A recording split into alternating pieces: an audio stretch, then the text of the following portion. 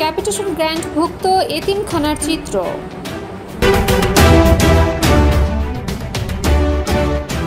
দেশ news TV সারা দেশ সারাদিন। সমাজসেবা ক্যাপিটেশন গ্র্যান্ট প্রকল্প এতিম বাচ্চাদের পড়ালেখা ও থাকা খাওয়ার দায়িত্ব নিয়েছেন সমাজসেবা অধিদপ্তর। দেশ নিউজ টিভির প্রতিবেদন গাজীপুরের কালীগঞ্জ দারুস সুন্না এতিমখানায় ক্যাপিটেশন গ্র্যান্টভুক্ত এতিম বাচ্চা রয়েছে একশো জন। এছাড়াও মোট এতিম বাচ্চা রয়েছে দুশো জন। এতিমখানার সভাপতি, স্থানীয় সংসদ সদস্য মেহের আফরোজ চুমকি। তিনি প্রতি মাসে এতিম বাচ্চাদের খোঁজ খবর নিতে আসেন। একটা বিষয় হলো, আমি একজন সাংবাদিক। দেশ নিউজ টিভি এবং মফাসাল্লাহ পত্রিকার সম্পাদক। আমি তোমাদেরকে নিয়ে আজকে যে প্রতিবেদনটা করার জন্য এসেছি, যে আসলে এদিন বাচ্চারা জননীতি প্রধানমন্ত্রী শেখ হাসিনা যে ক্যাপিটেশন গ্রান্ট যে প্রকল্পটা সমাজসেবার মাধ্যমে করেছেন, আসলে তোমরা কি সেটার সুবিধা ভোগ করতে পারতেছো কি না এটা জানার জন্য এবং এটা দেশবাসীকে জানানোর জন্য। ঠিক আছে? এখানে তোমাদেরকে পড়াশোনা করানোর জন্য এবং থাকার জন্য এবং খাওয়ার জন্য জননীতি প্রধানমন্ত্রী শেখ হাসিনা এবং সমাজসেবার মাধ্যমে ক্যাপিটেশন প্রকল্পটা সচল রয়েছে তোমাদের এই মাদ্রাসায়। দুইশো জন এখানে ছাত্র থাকবে যারা ক্যাপিটেশন ভুক্তের রয়েছে, একশো জন, কিন্তু থাকতে হবে দুশো জন যেটা রয়েছে সেটা অর্ধেক আপনারা ছাত্ররা ক্যাপিটেশন গ্রান্টের আওতাধীন থাকবে أعوذ بالله من الشيطان الرجيم بسم الله الرحمن الرحيم وما هذه الحياة الدنيا إلا لهو ولعب. وإن الدار الآخرة لهي الحيوان. لو كانوا يعلمون. فإذا ركبوا في الفلك دعوا الله مخلصين له الدين. فلما نجاهم إلى البر إذا هم يشركون ليكفروا بما آتيناهم وليتمتعوا فسوف يعلمون أولم يروا أنا جعلنا حرما آمنا ويتخطف الناس من حولهم أفبالباطل يؤمنون وبنعمة الله يكفرون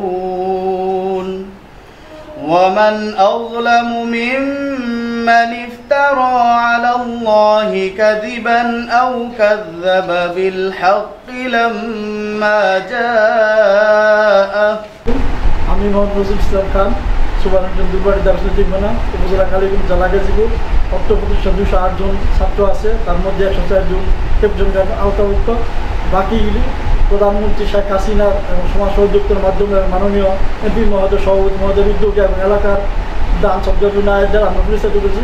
এখানে হেফজ শাখা, বাংলা ইংরেজি সহ, বিজ্ঞান সহ এবং কারিগরি সহ সমস্ত শিক্ষা দেওয়া এবং আমাদের এখানে অনেক ভালো ছাত্র যারা বিজ্ঞান নিয়ে পড়তেছে।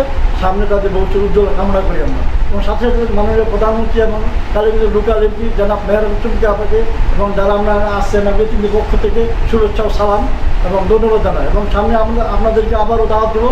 সময়কে আমরা আসবেন, যেহেতু আমাদের বার্ষিক সভা হয়, আমরা পাক দিতে এবং বছরই পরীক্ষার মাধ্যমে আমরা পুরস্কার বিতরণ করি। তখন আমি আসাদুজ্জামান ভাইকে বলব যে আমরা মেয়র আসছেন, খুশি হয়েছি। যেহেতু আবারও আসবেন এবং আমি এই সংবাদটা আজকেই, যেহেতু আমি কিছুক্ষণ পর ওনার অনুমতি সাপেক্ষে মাননীয় ফোন করছি, উনি ফোনটা রিসিভ করছেন। হয়তো উনি রেস্টে আছে সেক্রেটারি সাহেব কথা বলছি, উনি বলছি, ঠিক আছে আমাদের সাথে কথা বলুন এতটুকু আমি আইটিমদের পক্ষ থেকে, আমি একদিন ছিলাম। আমি সেভেন্টি ওয়ানে ভর্তি হয়েছি এখানে। এবং অদ্যবধি আছে। এই যে আমার ওস্তাদ হোসেন আহমদ, উনি আছে হেল্পনা দায়িত্বে আছে। এবং সবার পক্ষ থেকে যেহেতু আসাদুল খান সাহেব আছেন ভাই আসছেন, আমাদের ধন্যবাদ।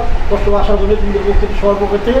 আমার শুভেচ্ছা জানিয়ে আমার আমার সংক্ষিপ্ত উচ্চাস আসসালামু আলাইকুম রহমতুল্লাহ বরকাত দেশ নিউজ টিভির প্রতিবেদনে কালীগঞ্জের মার্কাজুল হুদা এতিমখানা প্রতিবেদনকালে ঘটনাস্থলে দেখা যায়, এতিম বাচ্চাদের সংখ্যা বত্রিশ থাকার কথা। কিন্তু সেখানে সংখ্যা মাত্র তিনজন এছাড়াও রয়েছে জরাজীর্ণ বাসস্থান, অস্বাস্থ্যকর পরিবেশ, নিম্নমানের খাবার। এ বিষয়টি সমাজসেবা কর্মকর্তার দৃষ্টি আকর্ষণ করে যে এতিমখানায় এতিম বাচ্চা নেই তাদেরকে ক্যাপিটেশন গ্র্যান্ট আওতায় না আনা হোক। এ বিষয়ে এতিমখানার মহতামিম বলেন নাম কি? আপনি আমি মাদ্রাসায় বত্রিশ জন এতিম থাকার কথা কিন্তু আমি এসে এতিম আপনাদেরকে পেলাম মাত্র দুজন ছাত্র একজন দুস্থ একজনের মা নেই। তিনজন পেয়েছে আর একজন মনে হয় রয়েছে। মানে তিনজন হ্যাঁ তিনজন এতিম আর একজন দুস্থ। মোট চারজন কিন্তু সে একজন অনুপস্থিত। তো এই মাদ্রাসাতে তো আপনার ক্যাপিটেশন ভুক্ত হয়েছে ষোলো জনের মানে আপনার বত্রিশ জন এতিম থাকতে হবে। সো এখানে কেন এতিম নেই? আপনার ক্যাপিটেশন কেন নিচ্ছেন?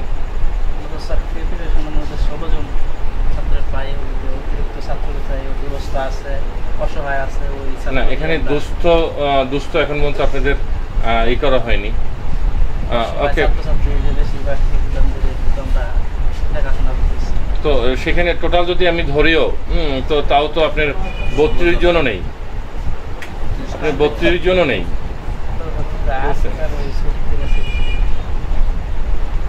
ওকে আপনারা চেষ্টা করেন এখানে এতিম এনে এদেরকে এতিমদেরকে সহযোগিতা করা কেন জননেত্রী প্রধানমন্ত্রী শেখ হাসিনা সমাজসেবার মাধ্যমে আপনাদের এই মাদ্রাসাকে ষোলো জন এতিমকে তাদেরকে টাকা দিচ্ছে, তাদের থাকার জন্য, পড়ার জন্য এবং স্বাস্থ্যসেবা দেওয়ার জন্য।